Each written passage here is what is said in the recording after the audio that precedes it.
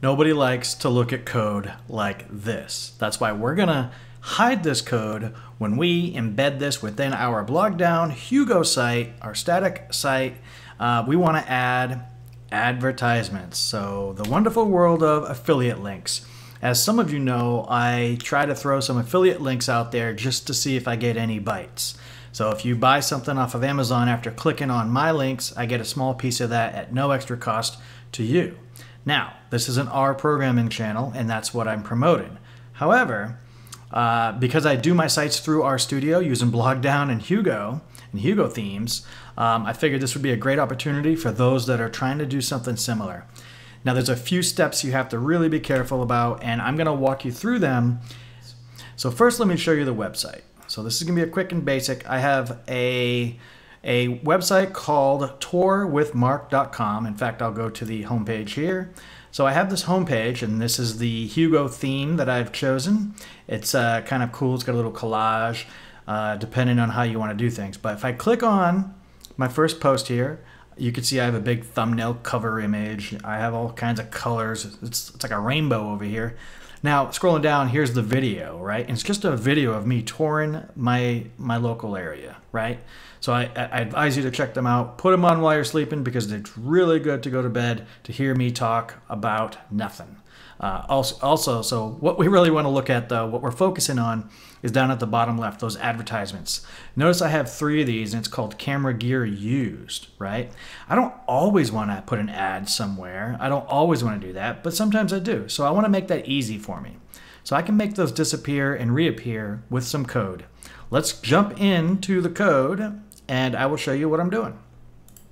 So right here, I have a file. I have now I already have my project, my Hugo project. Again, go back to the playlist, start at the beginning to get up to speed with Hugo Blogdown uh, websites. This is an RMD file. This is a new file. So I just did file new, new file, and then I just did R Markdown, right? So in this R Markdown, all I have is a header that has two hashtags, so that's a second level header, and it says camera gear used. You just saw me point that out right here. So it says camera gear used, and that's what that header is. And then I have all of these HTML iframes with all kinds of stuff in there. Now the first time I was trying to paste these in, oh, first let me tell you where I got these and why I got them. Let's go ahead and go back to the internet here. Let's go to my Amazon affiliate link and what I want to show you is I did a search. This is my affiliate link. Anybody can sign up that has a relevant website or YouTube channel. So feel free to uh, try that as well. But this particular item I want. So I'm going to click on get link. Let's see what happens. Uh, so it shows me a little picture of it here. And if I scroll down, I've got all of this code. I'm going to highlight it and copy it. That code is what I'm going to use to embed. This ad is customed, customized for me. It's got my I, my unique tracking ID on there, right? Feel free to use it because if you use my tracking ID, I get paid for it too. So, but anyways, it's a mess. So let's go back to uh, my site. I'm going to add this down at the bottom. Now I created this file. It's called add underscore space.rmd. That's doing nothing right now. I'm just storing this information there. So I'm going to call this one the, um, I'm going to first control V so I don't lose it. So this very last one is the battery that I just bought off of Amazon. It's so that I can power my MacBook Pro without electricity because when you when you're using Final Cut Pro, I mean my battery lasts maybe 45 minutes max, and that's ridiculous. So I bought a uh, external battery. Hopefully that'll get me another hour or so out of it. I don't know, but I'm gonna call this uh, battery, and I'm gonna go ahead and just highlight it and do Control Shift C to comment it out. You can see it put those. See, notice it's the HTML comment. It's not the R comment because I'm not in an R chunk. So there's the battery. I added it. I did nothing else besides paste that HTML in there. One thing you want to do if you want to use iframes, which that's what this is, it says iframe at the beginning and at the end it closes out that iframe box. In order to do that, you have to go to your config.toml file.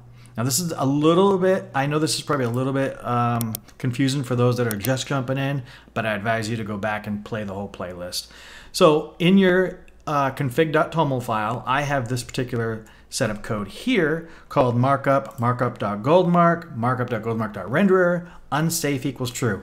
It means whatever HTML I put in there, it's going to try to run it right? It's going to render it within my browser. Uh, well, Hugo's going to build it, etc., etc. I don't know all the internal stuff, but you need to have that unsafe equals true in there. You need this in here to use the iframes. That's also true for YouTube videos, so keep that in mind. Okay, so we've got that out of the way. We've got that completely out of the way. Now, let's go back to my add space.rmd, which I just created. It's a file that's empty. It's got a header that says camera gear used, and then here are my actual ads. So I'm going to save that, Control S. Um, now let's go back to my actual post that I'm creating, and I'll show you a couple things that are new. And you can use this for other than ads. You can use it for anything you want. First, I'm going to scroll down to my code. Um, so this is commented out, line 30. Um, I have my embedded YouTube video here. And then I have camera gear used, which I don't need that anymore because, ah, because I already have it. Let's take a look. So notice I have it twice here. Let's get rid of that one. So I don't need this here. So as you can see, I know it's a little hard to read because it's red on black, but it's an R chunk. So I just did, you know, Alt Control I for insert R chunk. And then I, I have the letter R in there, comma. Now eval equals params dollar sign ads. You're like, what is that? Okay, so at the top of all of my YAML code, I'm going to have this particular template, right? So I have categories, tags, I have a summary, which, you know, I'm just throwing these together. I've got an image for the cover. But one thing that I added was params and ads colon space true. You can add as many params as you want. I can create a param called blah colon and I can call it text. It doesn't matter. You can have as many parameters. So whenever I refer to that parameter as params dollar sign blah, it'll replace it with text. And then same thing with the ads true, it'll replace it with true. Now, if I decide that I don't want to put ads on this particular page, I just make that false because that's the way I set the code up. Because I do plan on having very particular blog posts that I do not, definitely don't want ads on right? Let's say it's a very important subject to me and I don't want the user or the audience to be distracted at all, then I would make no ads. But right now it's set to true. So let's keep that true and let's read this code together. And I know I'm not writing the code with you today, but I want to read it with you and have you understand it. So the eval equals params dollar sign ads. So I've already set that to be true up top. Now imagine I had, you know, a 10 page blog all I'd have to do is set it at the very top and not worry about it down here. If I want to cycle through ads and no ads, I just do it at the top on line 21.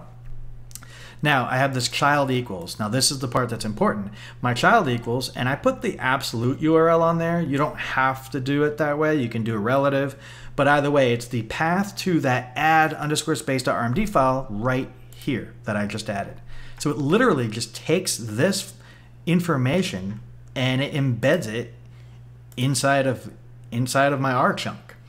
And when you do that, it just literally prints this onto my markdown file, which gets rendered as HTML. Sounds complicated, but it's really not that bad. You might run into problems when you start trying to um, make these into variable names because, again, you have a lot of escape characters within this. I don't have to worry about that because I'm, I'm making it all HTML and that's it. So you don't see anything in this chunk, by the way, nothing. So let's go ahead and just save it and I'll show you that I added that one more ad. Remember, over here, I've got three ads. I should have four when I render this. So what I'm gonna do is I'm just gonna add these all to my Git. So commit, and then I'll say added fourth advertisement, hit commit, close, push, let it do its thing, give it a few seconds. All right, now it's pushed that to GitHub. Let's go over to Netlify real quick. And this is where I host my site. I log in, I click on Tour with Mark, and now you can see it's building the site right now as we speak, building. And I have no patience. So what I do is I usually just refresh everything, right? Uploading, so it's that quick. Let's go back to my site. I have three here. I'm gonna hit refresh. And this is all real time, by the way. I'm, I haven't edited this out yet. Boom, there's my fourth ad right there. And that was as simple as that. Now, anytime I want to add, anytime I want to put an ad there for any post, let me find my bearings here. All I have to do is include this line of code right here. And I don't have to worry about what ads. I can switch the ads, I can replace the ads.